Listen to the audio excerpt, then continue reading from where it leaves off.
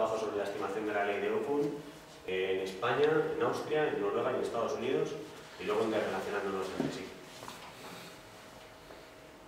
Bueno, eh, vamos a darle mucho, analizaremos las relaciones entre variaciones de la producción agregada y desempleo de los cuatro países, son pertenecientes todos a la OCDE, España, Austria, Noruega, Estados Unidos. Eh, en cuanto a la ley de Ocun, pues decimos que esta relación se conoce con el nombre de ley de, de, ley de Ocun y relación existente entre el crecimiento de la producción y la variación de la tasa de desempleo. Fue propuesta en 1962 por el economista americano Arthur Ockham en el artículo Potential GNP, Its Measurement and Signification. Eh, bueno, para los datos que utilizamos en este trabajo les he extraído de la base de datos de la OECD.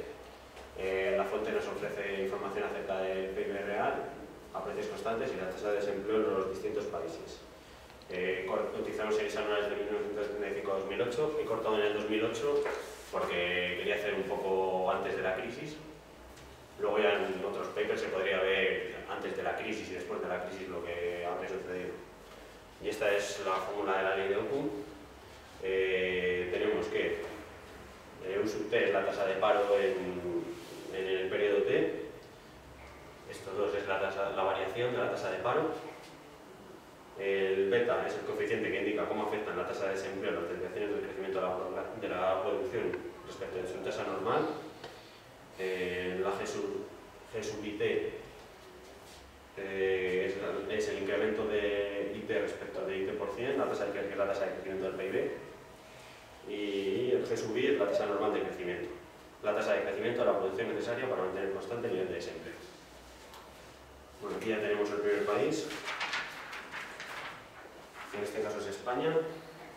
En cuanto a España, eh, tenemos los coeficientes, el coeficiente de aquí sería el beta, que es 1, lo tenemos aquí puesto, es prácticamente 1, que es la variación de la tasa de desempleo respecto de la producción.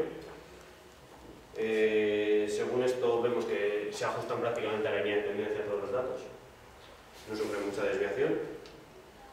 Entonces, podemos decir que respecto a su tasa afectaría prácticamente en una proporción de 1 a 1 a la variación de la tasa de desempleo. Cuando la, cuando producción crece un 1%, eh, más de lo normal, la tasa de, de desempleo disminuiría en un 1%. Con respecto al parámetro G sub I, el parámetro G sub I se calcula entre la diferencia de, de este parámetro y la tasa, entonces obtenemos un valor que es ligeramente superior a 3 y entonces la tasa de la producción necesaria para mantener constante este nivel de desempleo, el es 3. Si la producción creciese menos de ese valor, se produciría un aumento de desempleo y si creciese más de ese valor, se produciría una disminución de desempleo. En cuanto a Austria, pues vemos aquí que los datos no se ajustan claramente a lo largo de toda la tendencia tenemos aquí muchos, muchos datos que están muy dispersos. Entonces, al final, nos queda que el coeficiente para Austria sería el 0,1. Por lo tanto, eh, si la producción creciese un 1% más de lo normal, la tasa de desempleo disminuiría en un 0,1%. Eh, ocurriría por, por las razones que también salen en el caso anterior, que es por un asesoramiento del trabajo, o un aumento de la tasa de desempleo que no provoca una reducción de la tasa de desempleo en la misma cuantía. El coeficiente G sub I, que también le tenemos aquí, bueno, explicar que todos corresponde a 3, prácticamente. Entonces, bueno, la tasa de producción necesaria para mantener constante el nivel de desempleo sería 3 también en este caso.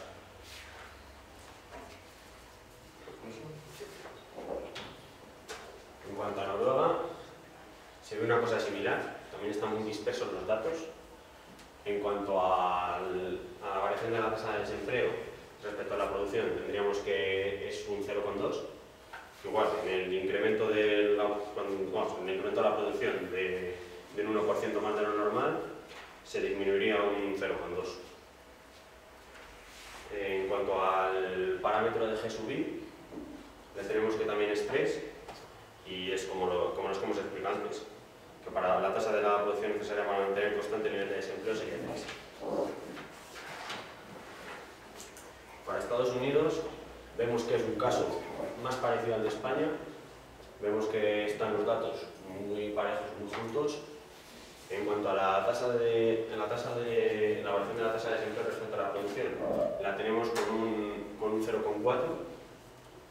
Entonces, luego al final, al sacar la tasa de producción con el nivel de desempleo nos sale 3, pero esta es la única que sale un pelín por encima de 3. Las demás salen mucho más ajustadas a 3, sin embargo de Estados Unidos no sale por encima de 3. Eh, en, cuanto, en cuanto a la variación, tenemos la variación de la tasa de desempleo, tenemos que es por el de trabajo y porque un aumento de la tasa de desempleo no provoca una reducción de la tasa de desempleo en la misma cuantía. Cuando aumenta el empleo, no todos los puestos de trabajo nuevos son ocupados por desempleados, sino que algunos son ocupados, por ejemplo, por personas inactivas.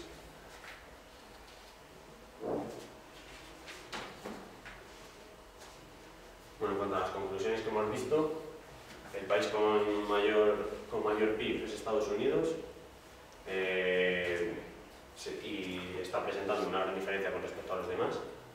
En cuanto a Noruega, es el que tiene el mayor PIB de los tres que están en la zona europea y es debido a que los países escandinavos son los que más han crecido en, este último siglo. Eh, se puede observar también que el que menor PIB tiene a lo largo de todos los años es Austria, pero tenemos que tener en cuenta que está provocado porque Austria es uno de los países que se han adaptado rápidamente a la industrialización, lo que hace que cuenten con unos niveles de producción inferior a otros que crecieron más tarde, pero resulta, resulta bastante curioso que con un PIB de España cuente con unas tasas de desempleo mucho más bajas y es de los más bajos de la Unión Europea. Eh, bueno, hemos podido, analizando diferentes países, hemos observado en todos ellos existe una relación negativa entre la variación de crecimiento de la producción y la variación de la tasa de desempleo. Y luego también que la correlación entre las variables, eh, que es el grado en que una variable se relaciona con otra, en cuanto al país que mayor correlación presenta sus variables es Estados Unidos. Y hemos visto, por ejemplo, que, las gráficas de Austria y Noruega, que no lo tengo puesto aquí, pero las gráficas de Austria y Noruega, la relación entre la tasa de paro y el crecimiento de la producción contaba con los datos muy dispersos.